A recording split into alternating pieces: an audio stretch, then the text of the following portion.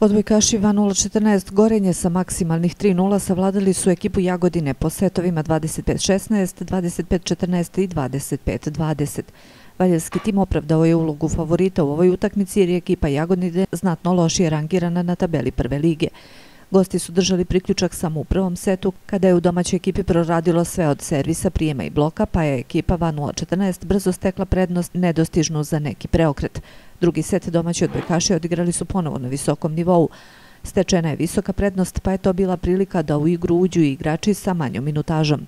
Bez obzira na to dobijen je i treći set i zabeležena i četvrta prvenstvena pobjeda.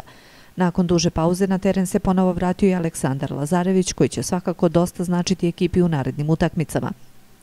Svaka pobjeda protiv ekipe Jagodine maksimalnim rezultatom mora da bude zadovoljavajuća. Prosto ispunili smo cilj, e, naš dogovor iz slačionice, odradili smo sve maksimalno.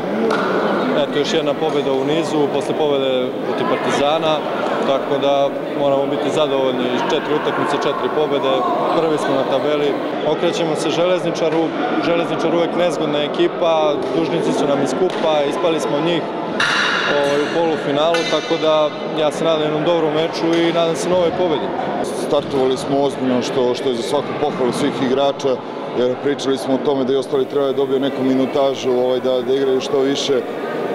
Mi pokušavamo svo vreme da, da i te igrače, kažem, bit će bitnih utakmica kao što je bilo i u Beogradu, gde svaki igrač zna, znači preokret.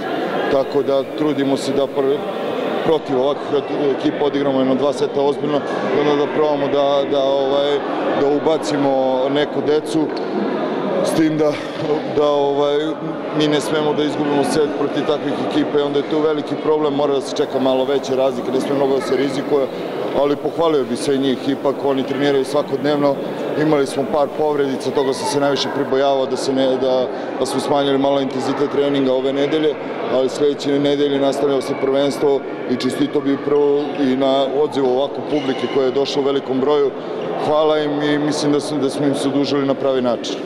Mi u Beogradu idemo sad i sa Ražnatovićem i sa Ćosićem koji su nam velika pojačanja, znači nama je da pobedimo.